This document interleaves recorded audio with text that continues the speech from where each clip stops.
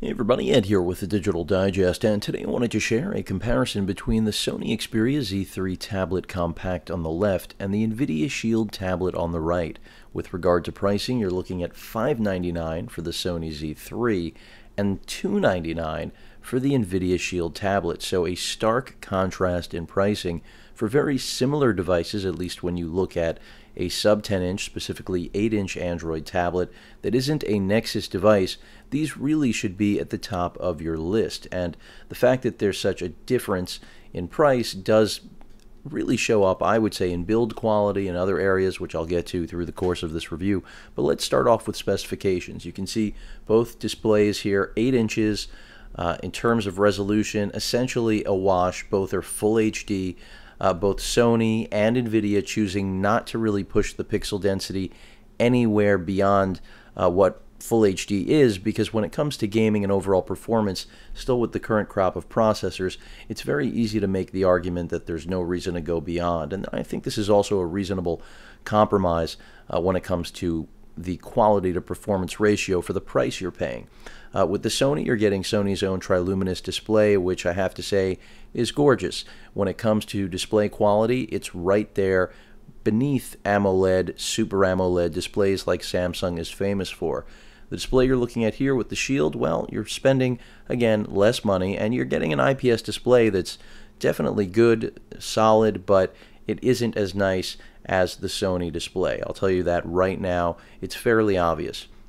Uh, when it comes to what's inside these tablets, uh, the Sony is powered by a Snapdragon 801 quad core processor, which is still a flagship uh, mobile CPU. On the other hand, it is a little bit dated, especially when you compare it to the Tegra K1 quad core uh, chipset that's driving uh, the Shield tablet, which is arguably one of the best mobile processors on the market. And that's not a knock, a knock against the 801. The 801 is very competitive. It's just not as, I would say, flexible and powerful, especially if you're uh, interested in any form of gaming. And that's kind of ironic considering the Sony is definitely aimed at gaming as well because of its PlayStation 4 compatibility, which I'll also get to a little bit later, since the Shield is a stream machine for Steam users. That is PC gaming at home, essentially on your home network. The same way the, the uh, PS4 will work with the Z3, again, for home console gaming. So it's really interesting how similar these devices are, again, even though they are coming from completely opposite ends of the spectrum. One, a polished looking you know, thin, lightweight, much lighter than the 8 inch uh, on the right, by the way. You're looking at 9.5 ounces versus 14 ounces. So a big difference considering they're both 8 inch devices. Uh, in terms of RAM, both have 2 gigs of RAM, or excuse me, uh, 3 gigs of RAM uh, in the Sony, 2 gigs of RAM uh, in the NVIDIA Shield tablet. So, not a wash on RAM, but still very close in terms of real world performance and what you're going to see. In terms of cameras on the front of the display, you can see there's one right here on the Shield that is a 5 megapixel camera. On the Sony, we're working with a uh, 2 megapixel in change camera on the front. Uh, on the back, the Shield has another uh, 5 uh, megapixel camera. So basically, NVIDIA deciding 5 megapixels is more than enough for both video conferencing as well as quick snapshots with something like a tablet, and I think it is a good compromise that they made there. The Sony, on the other hand, since Sony is a DI company, and you know what would they be without some solid, uh, I would say stills and video, even on a tablet, does have an 8 megapixel uh, camera. However, uh, no LED, uh, which I kind of would have expected from Sony, but it's not there. But in terms of camera quality, no question the Sony is better than what you're going to get with the Shield tablet. But the Shield tablet is a gaming machine. Remember that. These are two very different devices, even though, again, they share so much in common. Now, when it comes to other things, both have dual band Wi Fi, for those of you that are curious, AC compatible, of course. And in my experience, they both perform extremely well when it comes to connectivity. Uh, the Shield does have a past already, since it has been on the market uh, for some time, of having known Wi Fi issues that NVIDIA has attempted to resolve. Some users uh, have gone through hell, others have had little to no problems, like myself. Uh, I have had some problems with the Shield, which again I'll be getting to uh, through the course of this video. Uh, but otherwise, the hardware when it comes to Bluetooth, all of those things are there. It's pretty much equal GPS. Uh, speakers both are front facing. You may have noticed clearly on the Shield, you've got big speaker grills on the top and bottom, or, or left and right if you're in landscape. Uh, here, just like the Xperia Z3 Compact uh, phone, you've got uh, basically just a slit that is at the top and bottom of the tablet. And the Sony, interestingly enough, has been designed for portrait use. You may have noticed the Sony logo right there, top center, clearly portrait centric. And that's because I think Sony was going much like Google with the Nexus 9, uh, even though they didn't deviate from the aspect ratio. We've got basically the same aspect ratios here as opposed to the 4x3 with the Nexus 9. Uh, they still wanted a tablet that was going to be, I would say, optimized for single handed use for reading. And uh, that's something that the Z3 does very well. The Shield, because of its extra weight and uh, just thickness, isn't as, I would say, enjoyable. It's also, I think, a little bit wider. So it's really a matter of personal preference. Uh, but these are both clearly designed for content consumption in every form and fashion. Now, uh, I've gone over hardware uh, in terms, uh, also NFC on board on the left, no NFC with the Shield, which is disappointing, but at $300, still pretty solid. These are Wi-Fi only tablets. You can get them in, in LTE uh, varieties as well, as well as additional uh, storage capacity. Both do have micro SD card slots for storage expansion. And uh, I'll take you quickly around each of the devices, and then I'm going to get into what you really need to know. Uh, so I've already mentioned, of course, the camera. You've seen the uh, speakers. On the bottom of the shield, we have basically the docking ports for uh, the proprietary case that is optional. On the back of the shield, a matte finish, pretty resilient when it comes to fingerprints, better than I thought it would fare. That extra or additional 5 megapixel camera. You also have a stylus, something I didn't mention before because quite frankly, it isn't a primary draw for this device, but it's definitely nice to have. And you can see uh, essentially, as soon as you pull it out, much like Samsung's hardware, you're prompted, even if upside down, uh, with a selection of different software that uh, basically is compatible with uh, NVIDIA's Direct Stylus experience. And it does work fairly well. It is passive, uh, so no pressure sensitivity, but using essentially the thickness of the head of the or tip of this uh, stylus, it does a fairly good job uh, and definitely is an added value for this tablet that no other tablet right now has to offer from a real legitimate manufacturer like NVIDIA. Uh, but I'm going to go ahead and put that away uh, because that isn't the focus of this comparison, really. It's just an added bonus if you care about it. Uh, the Shield on top uh, does have a power button. I'm going to go ahead and move the Sony out of the way for this part. You can see right there, we've got the power button. And then right next to the power button is the volume rocker uh, and the micro SD card slot, which again, expandable up to 128 gigs. This right here is the dummy where the LTE uh, SIM card would go in the event that we actually had an LTE model. And that uh, is a 32 gig model, by the way, if you go with the LTE version. And that's pretty much it. I mean, uh, the subwoofer, just like previous generations built in. By the way, the audio on the Shield is best in class right now in sub 10 inch tablets, especially at its price point. Uh, I just reviewed it, uh, compared it to the Nexus 9. It does overpower the Nexus 9, and it certainly overpowers the Sony I'm comparing it to today. But the Sony still has solid performance, especially considering it's 9.4 ounces in change, which is just incredibly thin and light.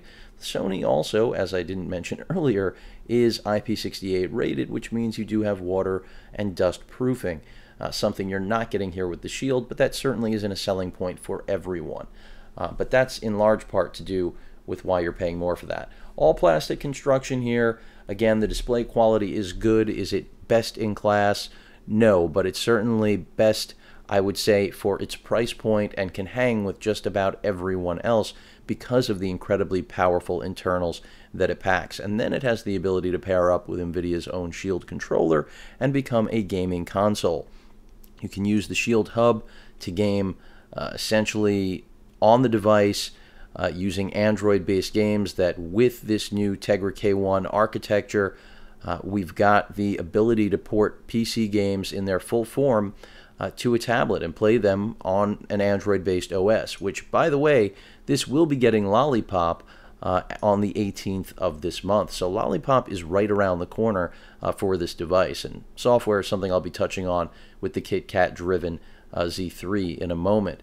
So software is definitely also in the Shield's favor uh, with regard to updates. This is as close to a Nexus device as you could possibly get, especially now that the NVIDIA and Google relationship is right back where it started when the whole tablet uh, launch began with the Motorola Xoom, despite what a great success that device was, unfortunately. Uh, so, really software is great here. You have the shield hub. You can buy games that are driven for or optimized for the tegra k1 but then you can also stream from your home pc using steam.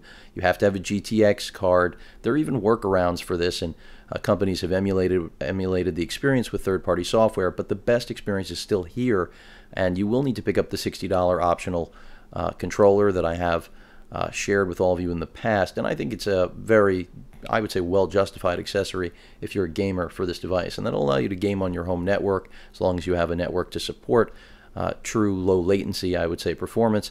And then in addition to that, you can use NVIDIA's Grid, which is becoming public to the entire nation. Uh, also on the 18th with that Lollipop update. So software pretty much stock, great speakers, incredible processor, expandable storage, low price point. Uh, the only thing that you know reminds you that it is unfortunately um, a budget device is its build quality, and that would be my biggest knock. When it comes to battery life, it's also solid. Uh, you do get somewhere between six and eight hours, which is very good. And you also have, uh, I forgot to mention, uh, right here on the left-hand side of the device, you can see HDMI uh, out. Beyond, of course, the expected micro USB. Three and a half millimeter headphone jack always is going to be there. Show me a device that doesn't have one. Um, there used to be a few. Uh, but that HDMI out, I mean, it really turns the Shield into a device that is unmatched in its profile. There are a lot of great sub 10 inch tablets, but nothing this powerful at this price point. Now, when it comes to build quality, there have been some issues with uh, cracking uh, around the bezel of the device, and I had reported on this in the past, and actually, I have noticed that one of my corners, I'm looking for it now, I don't see it, uh, has started to crack and curve and I'm looking for it to share it with all of you. Uh, but you can take my word for it as I'm go nope there it is. And you'll see it because I will put my nail right in front of it and get it in focus as you know as best as I possibly can. But you'll see that the crack and I can see it even on preview uh, has curved. So instead of that perfect line that was around the molding we now have a crack. So this is a perfect example of where a product that is amazing for the price and does great things comes up short in one department that's actually very, very important. Now, NVIDIA has been good about replacing these units, but from what I've heard, I'm not sure that they've actually addressed the original problem. So they're kind of just throwing a new unit at you and hoping that it's going to work out. I'm going to find out personally. I'll update all of you.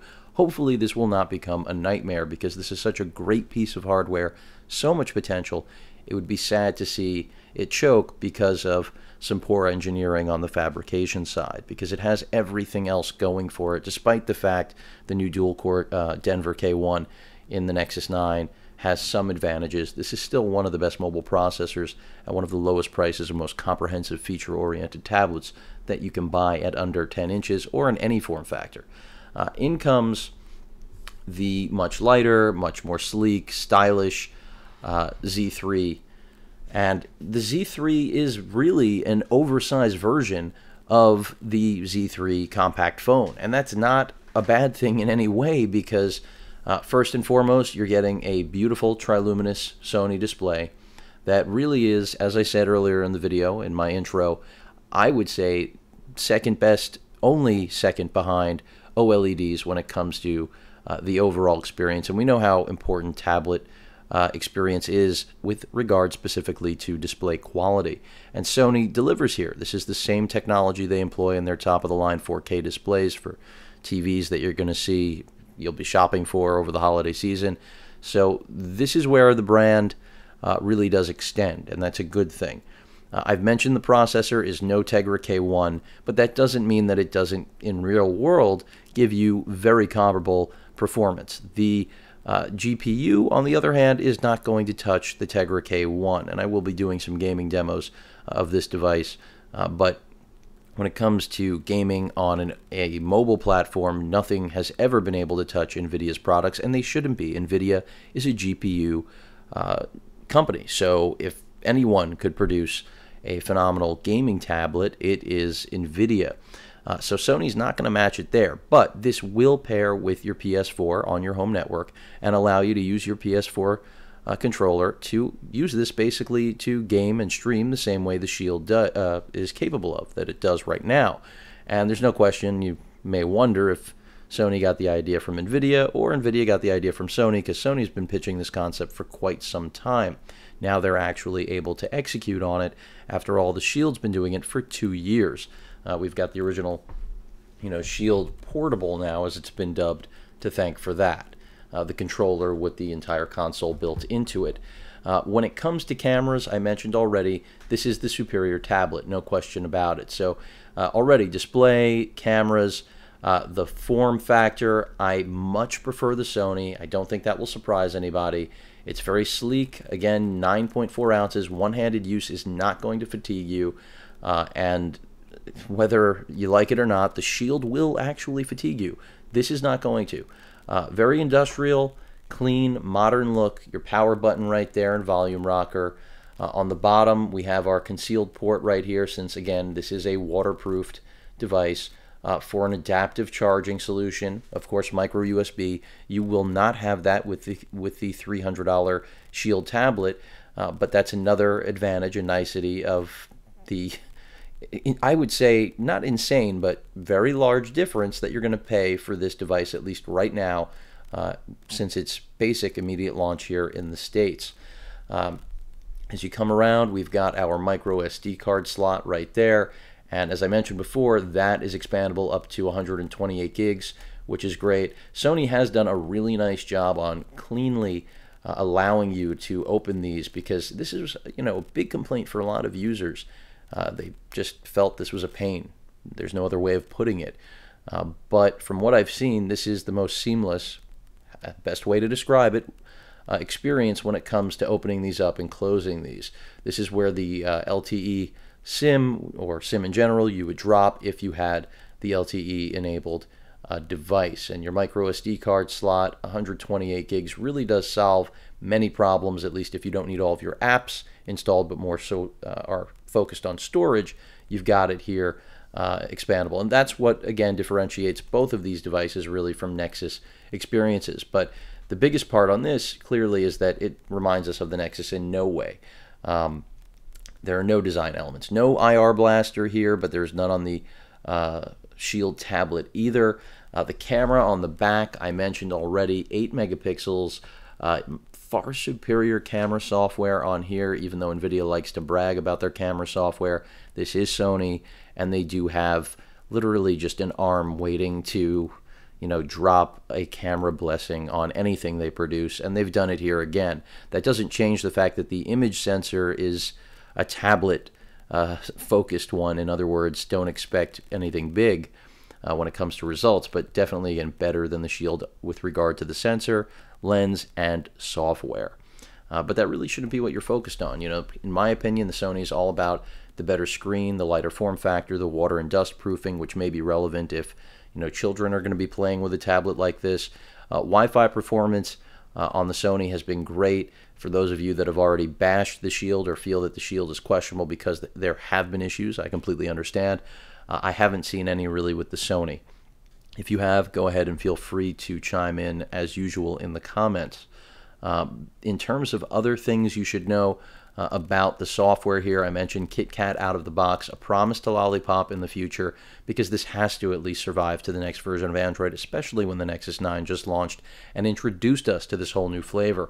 I'm going to go ahead and open up Chrome, give you a little bit of browsing. I already mentioned the speakers here are not as good as what you're getting on the Shield tablet, but that you know, is arguably going to be the case for just about anything I would compare the Shield tablet to, even in larger uh, tablets. And the Shield, as I mentioned earlier, far more stock as well. The experience is literally uh, as close as you're going to get to a Nexus. By the way, through this whole review, both screens 100% brightness.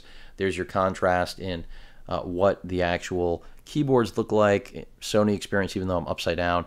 Uh, I also want to point out that this looks a lot more like Lollipop already, and I do like what Sony's done with the KitKat overlay. I think it's useful, functional, uh, in the same way that Samsung has done some innovative things, which you rarely say of overlays.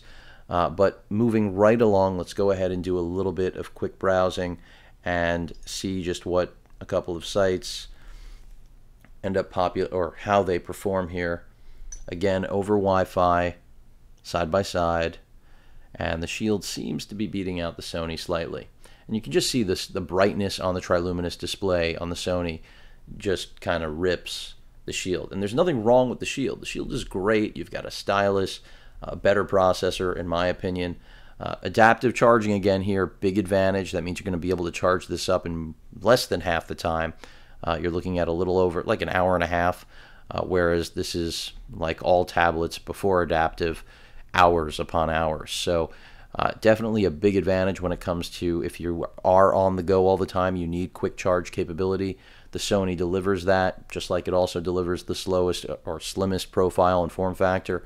So these are all things to take into consideration. It depends on the type of consumer you are. If you're a gamer, the Shield is what you should be buying. This is not even a discussion of any form because it's a great 8-inch tablet, but then also a portable console in its own right that you can hook up and output to a TV, have up to four controllers paired with, and really experience console gaming. The problem is the games aren't there yet, so you really have got to be working with your own library using your own GTX driven system, whether it's a Titan Z or I don't know what the base card is, but in the 600 series, the whole point is you need to have a pretty powerful system. There are workarounds now for much lower end cards, but performance is only going to get worse. So it only helps to have higher end gear when it comes to trying to stream. Uh, the experience with PS4, I can't really speak to yet. I will eventually do a demo of that, or at least at the you know very least update all of you on that. But I expect relatively seamless performance. Again, that would only be limited uh, by your own network connection because both of these do have very good Wi-Fi connectivity. Um, I mentioned that I wish an IR blaster was here. NVIDIA also, I don't see why not, but a stylus I think will be more useful for most users than an IR blaster. But Sony has always had IR blasters, so it is a strange deviation to say the least. The waterproof and dustproof thing, I wish every device had. I don't care about having to open flaps. I'm not uh, that much of a complainer, as I know many people, they just hate it. But in my opinion, if again you have children or you want to be able to go just about anywhere with the device, it really does make a very big difference. And I missed that one, so that's not going to really help us.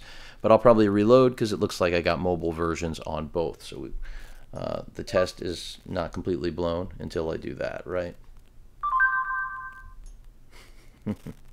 so let me go ahead and just bring up desktop and I'll see if I can do this at the same time.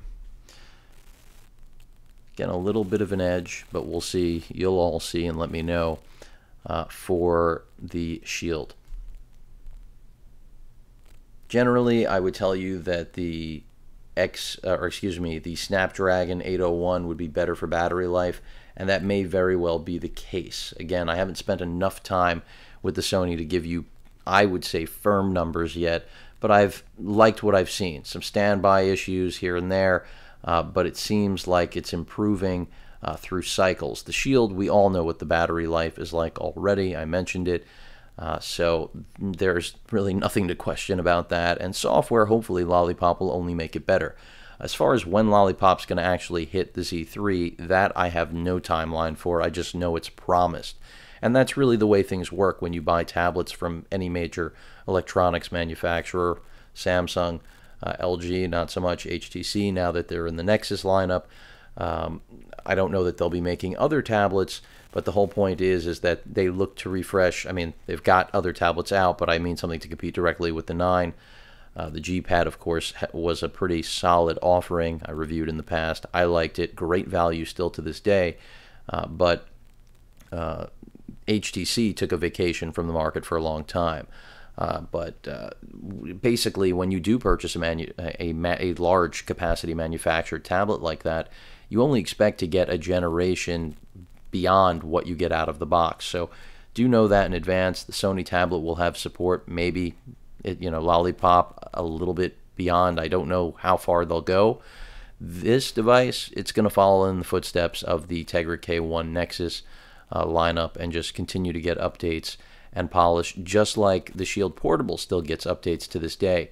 NVIDIA doesn't make a lot of hardware, so they do have a lot riding on their reputation when it comes to making sure that they continue to update and support uh, not only uh, their GPUs, but brand new entries like the hardware we're looking at here tablets, portable gaming systems.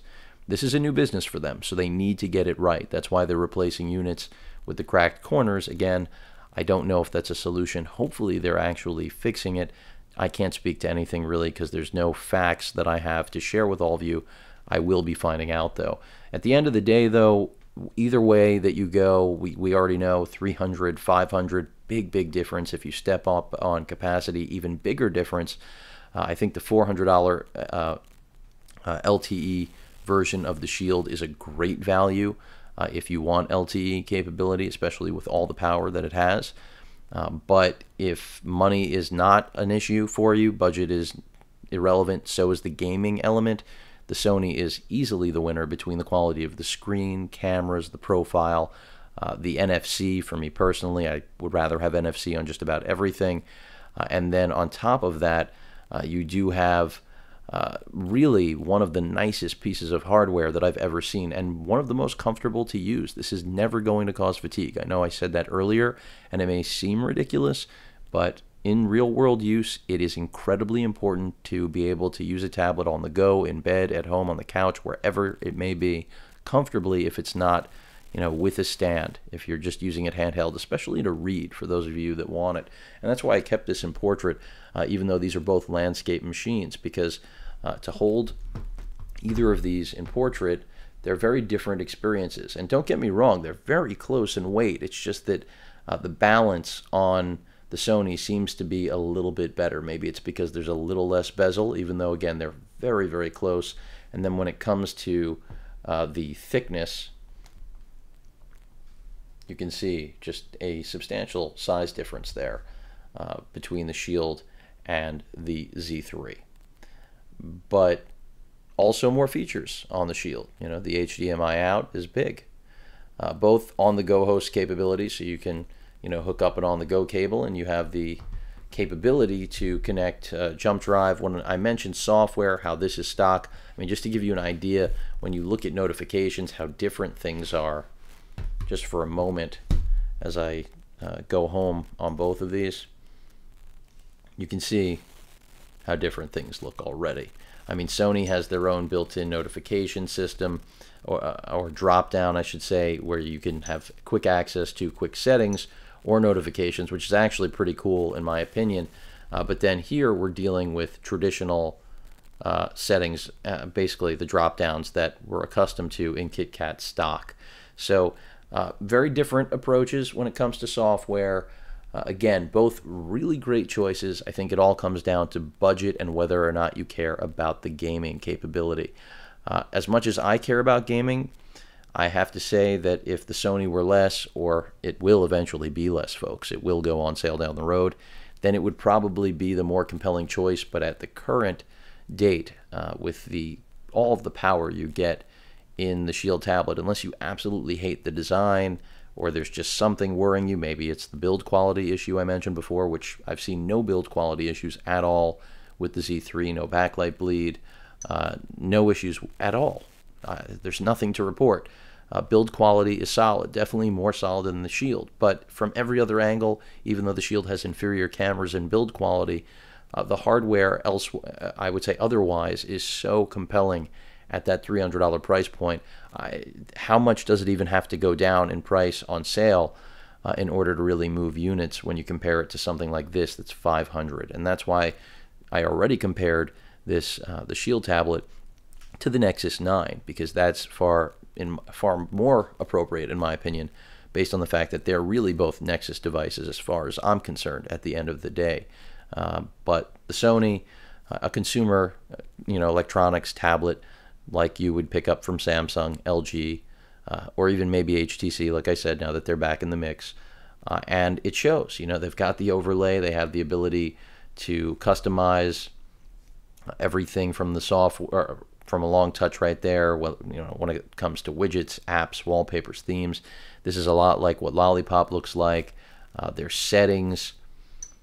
If I actually go into anything here, it looks, you know, basically a lot like what Lollipop looks like. So it seems like, you know, and this isn't new, by the way, to Sony. This is how things have looked for a while. So it's interesting that they do resemble Lollipop uh, natively. Here, until we get Lollipop, we're still in that much darker KitKat stock world that Android has looked like since day one. So interesting elements here and components in both. I think they fit different personalities, different identities in terms of who they're going to satiate and really make happy in the marketplace.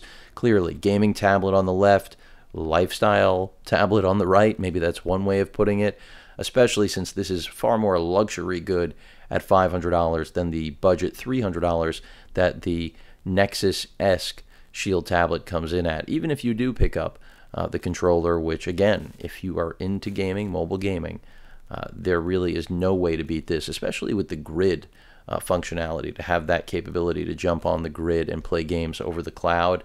That doesn't require being at home on a great network. So, something to take into account. I wish we had wireless charging on either of these. Unfortunately, we do not. So, that's a big letdown for me, but that's just a side note, a personal note. When it comes to accessories, both have uh, cases.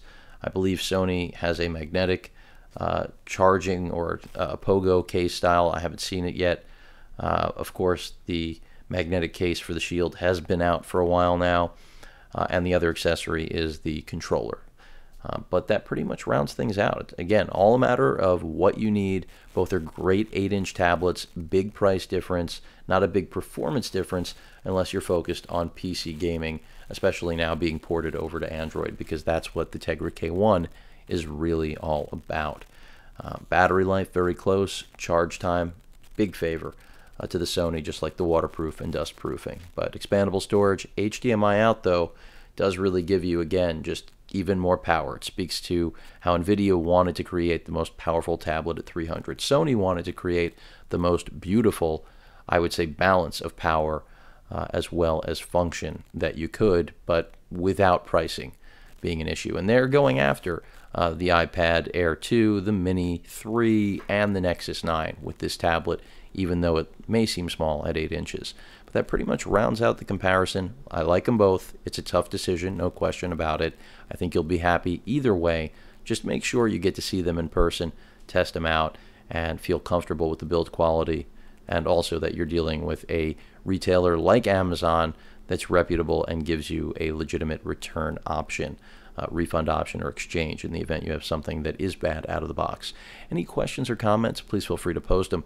And of course, as usual, please feel free to subscribe. Later.